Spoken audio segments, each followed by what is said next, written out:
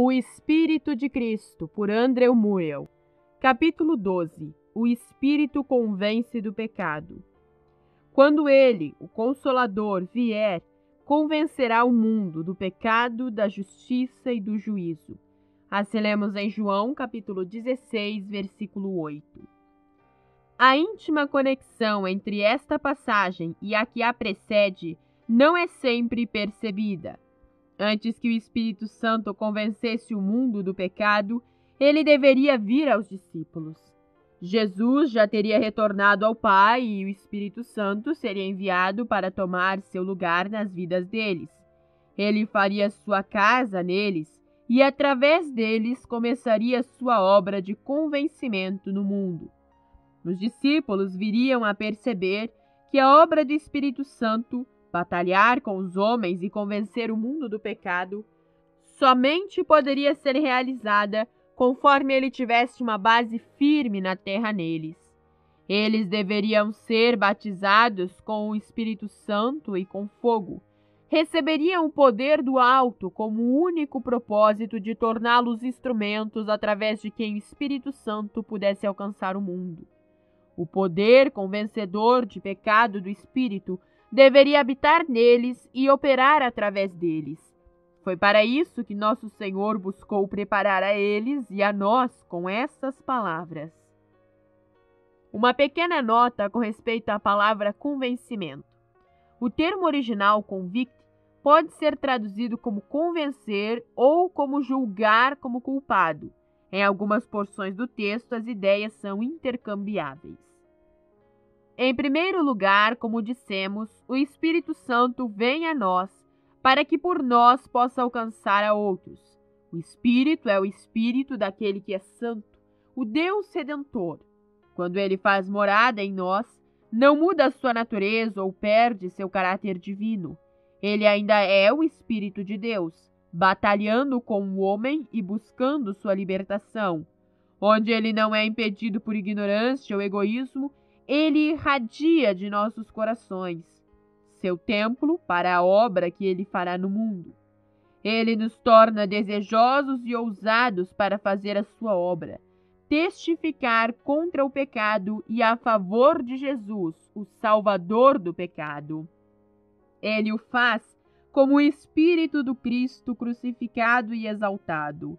Isaías disse: O Espírito do Senhor está sobre mim pelo que me ungiu para evangelizar os pobres, enviou-me para proclamar libertação aos cativos e restauração da vista aos cegos, para pôr em liberdade os oprimidos e apregoar o ano aceitável do Senhor, que lemos em Lucas capítulo 4, versículo 18 e 19, de Isaías capítulo 61, versículo 1 e 2. Foi este mesmo Espírito através de quem Cristo se ofereceu a Deus e através de quem ele foi levantado de entre os mortos. O Espírito teria uma casa nos discípulos, assim como ele teve em Cristo. E da mesma maneira que em Cristo o Espírito Divino procuraria fazer sua obra divina, como uma luz a brilhar nas trevas, revelando, condenando e conquistando, e como o espírito consumidor e o espírito de julgamento, ele é para o mundo o poder de convencimento e conversão.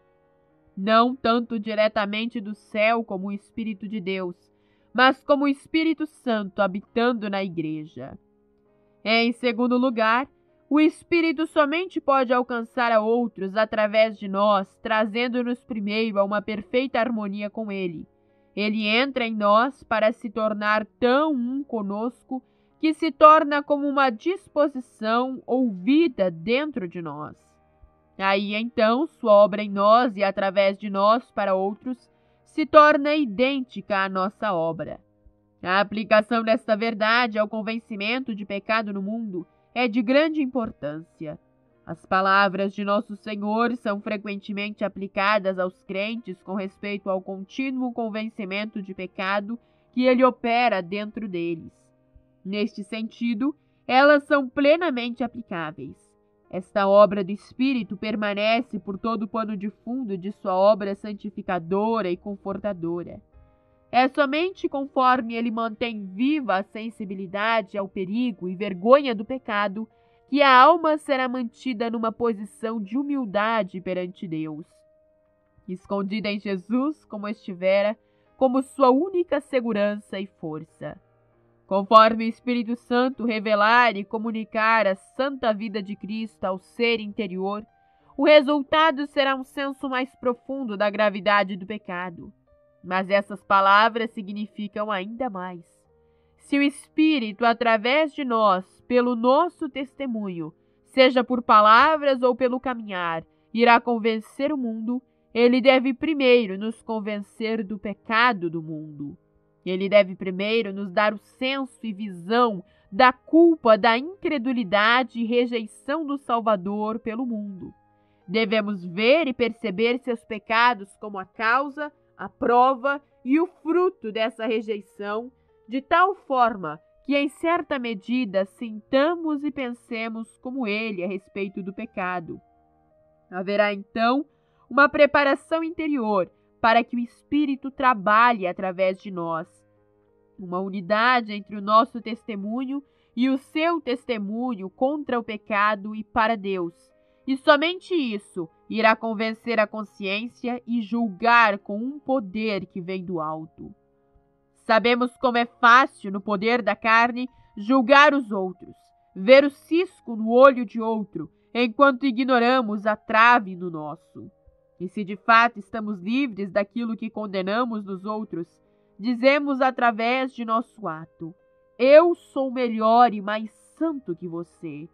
Ou nós trabalhamos e testemunhamos no espírito errado e na nossa própria força ou não temos sequer a coragem de trabalhar.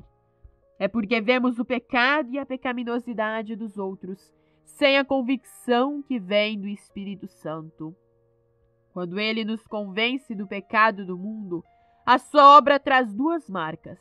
A primeira é um sacrifício do eu, em zelo por Deus e sua honra, combinado a uma profunda e real tristeza pela culpa.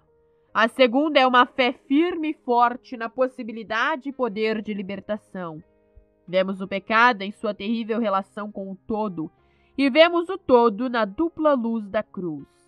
Vemos o pecado indizivelmente odiável em sua afronta contra Deus e seu poder sobre a alma enfraquecida. E vemos o pecado condenado, espiado, posto à parte e conquistado em Jesus. Aprendemos a olhar para o mundo como Deus o vê em sua santidade. Odiamos o pecado com ira infinita, mas amamos o pecador com o amor que enviou o seu Filho. O Filho dá a vida, destrói o pecado e liberta os seus cativos. Que Deus dê ao seu povo uma profunda e verdadeira convicção do pecado do mundo em sua rejeição a Cristo, como preparação para que o Espírito os use para convencer o mundo do pecado. Em terceiro lugar, para obter essa convicção do pecado, o crente deve não somente orar por ela, mas também ter toda a sua vida sob a liderança do Espírito Santo. Não podemos sequer declarar de forma diligente o bastante que os vários dons do Espírito dependem de sua habitação pessoal e supremacia na vida interior e da revelação de Cristo em nós, que deu a sua vida para ver o pecado destruído. Quando nosso Senhor proferiu aquelas palavras de significado inexaurível, Ele estará em vós. Ele abriu o segredo do poder do Espírito para ensinar, santificar e fortificar. O Espírito Santo é a vida de Deus. Ele entra e se torna a nossa vida.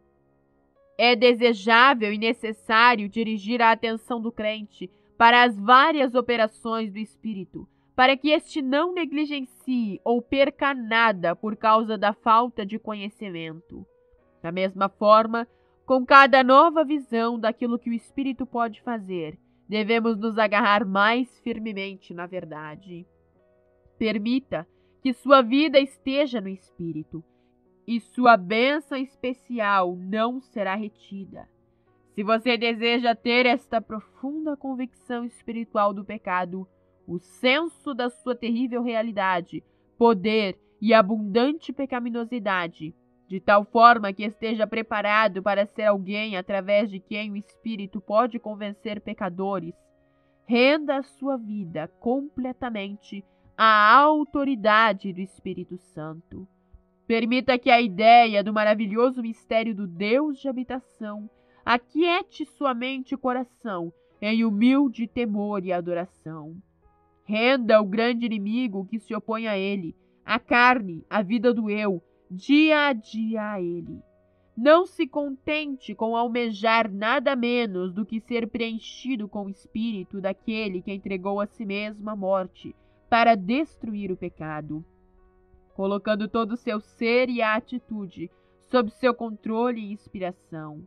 Conforme a sua vida no espírito se tornar saudável e forte, e sua visão espiritual revigorada, você verá mais claramente e sentirá mais aguçadamente o que é o pecado. Seus pensamentos e sentimentos serão os mesmos do Espírito Santo: repulsão pelo pecado, profunda fé na redenção de Cristo e profundo amor pelas almas que estão perdidas.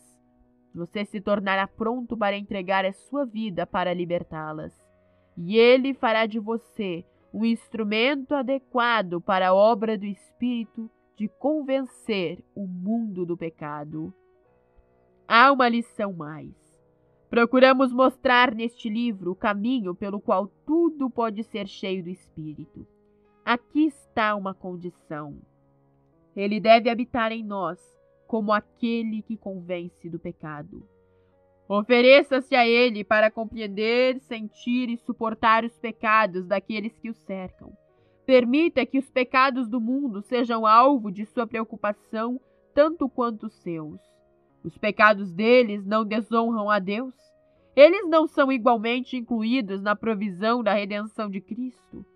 A habitação do Espírito em você não anseia para convencê-los? Assim como o Espírito Santo habitou no corpo e natureza de Jesus e era a fonte do que ele sentia, fazia e dizia, também assim o Espírito agora habita nos crentes. O propósito pelo qual Cristo veio ao mundo e pelo qual o Espírito Santo batalha é que o pecado seja conquistado e seu poder reduzido a nada. Este é o propósito, o batismo do Espírito, e com fogo foi dado. Que nos crentes e através deles, ele convença o mundo do pecado e o liberte dele. Ponha-se em contato com os que lutam com o pecado. Encontre-os no amor e fé de Jesus Cristo como um servo e ajudador dos necessitados e abatidos. Entregue-se a mostrar a realidade da fé em Cristo, o poder de sua redenção e a obra do Espírito no mundo. Busque a plena experiência do Espírito de habitação com o propósito da obra do Pai através de você. Viva em unidade com outros crentes para trabalhar e orar, para que outros sejam salvos do pecado. É essa unidade e amor uns pelos outros que irá provar ao mundo que Cristo é real. O conforto e sucesso com os quais um homem vive e conduz seus negócios depende muito de ele ter provisão adequada para isso. Quando o Espírito Santo encontra em um crente todo o coração livre e rendido a ele, como um templo, e ele pode fazer através dessa vida a sua grande obra. Esteja seguro de que não há maneira mais certa de receber a plena medida do Espírito do que ser completamente rendido a Ele, permitir que a mente de Cristo esteja em nós. O que o Espírito foi nele, ele deseja ser em nós. O que era verdade a respeito dele, deve ser, na mesma medida, verdade acerca de nós. Cristão, você deseja ser cheio do Espírito Santo e buscar um entendimento claro do Espírito Santo em você, convencendo o mundo do pecado? Se você se identifica plenamente com ele nisso, se ele vê que pode usá-lo para a sua glória, se você faz da obra dele a sua obra, você pode estar certo de que ele habitará ricamente e operará poderosamente em você. O propósito pelo qual Cristo veio foi destruir o pecado. A obra pela qual o Espírito Santo vem ao homem é persuadi-lo a deixar o pecado. O crente vive para se juntar à batalha contra o pecado e buscar a vontade de Deus. Sejamos um com Cristo e seu Espírito no testemunho deles contra o pecado. Uma demonstração da vida e do Espírito de Cristo terá seu efeito. A santidade e gozo, o amor e obediência a Cristo convencerão o mundo do pecado e da incredulidade. Assim como a morte de Cristo, seu sacrifício pelo pecado foi a passagem para a sua glória no poder do Espírito. Assim também nossa experiência da habitação do Espírito se tornará a passagem para uma vida plena de poder e bênção em convencer o mundo do pecado. Senhor Jesus, é pela presença e poder do Espírito Santo no teu povo que o mundo é julgado e convencido de seu pecado, de rejeitar-te, e que os pecadores são trazidos do mundo para aceitar-te é em homens e mulheres cheios do Espírito Santo, testificando no poder de um santo gozo daquilo que fizeste por eles, que é dada a prova de que tu estás de fato à destra de Deus. É num corpo de testemunhas vivas daquilo que fizeste por elas, que o mundo encontrará a irresistível convicção de seu pecado e culpa. Quão pouco o mundo tem visto disso. Clamamos a ti, em profunda humildade, Senhor Jesus, desperta a tua igreja para o conhecimento de seu chamado, para que cada crente possa provar ao mundo qual poder e bênção há na fé em ti. Deposita pesadamente o encargo pelo pecado do mundo nos corações do teu povo, para que eles vivam pela oportunidade de provar a tua presença no mundo. Afasta tudo o que te impede de manifestar teu poder salvador através de nós. Teu Espírito veio convencer e julgar o mundo do pecado. Ajuda-nos a juntar-nos a Ele nesta obra. Amém. Atentemos ao sumário. Em primeiro lugar, o grande pecado do mundo é a incredulidade, rejeição de Cristo. Este é o espírito do mundo. Um segundo esclarecimento. Cristo deixou o mundo e foi para o Pai, mas ele deixou seu povo cheio de seu espírito e do poder de uma vida santa. Sua confissão dele, a quem devem suas vidas, trabalha para convencer o mundo do pecado. Que plenitude de rendição ao Espírito Santo é necessária. E, em terceiro lugar, concluímos que o que é prometido é um derramamento tal do Espírito de Deus que não somente se revelará na consciência dos discípulos, mas se tornará substância como um fato inegável e maravilhoso para o mundo que o observa. Não é a coisa mais necessária que o Espírito de Deus seja de tal forma derramado no povo de Cristo que outros sejam alertados de sua presença? E ainda um quarto esclarecimento. Para convencer o mundo da verdade da cristandade, ele deve primeiro ser convencido de seu pecado. É o pecado que torna Cristo ininteligível. E para isso não são necessários muitos argumentos e evidências, mas a presença manifesta do Espírito Santo. Para isso há necessidade de oração contínua, unida e crédula, para que o Pai nos fortaleça com poder pelo seu Espírito para sermos seus mensageiros no mundo. Amém.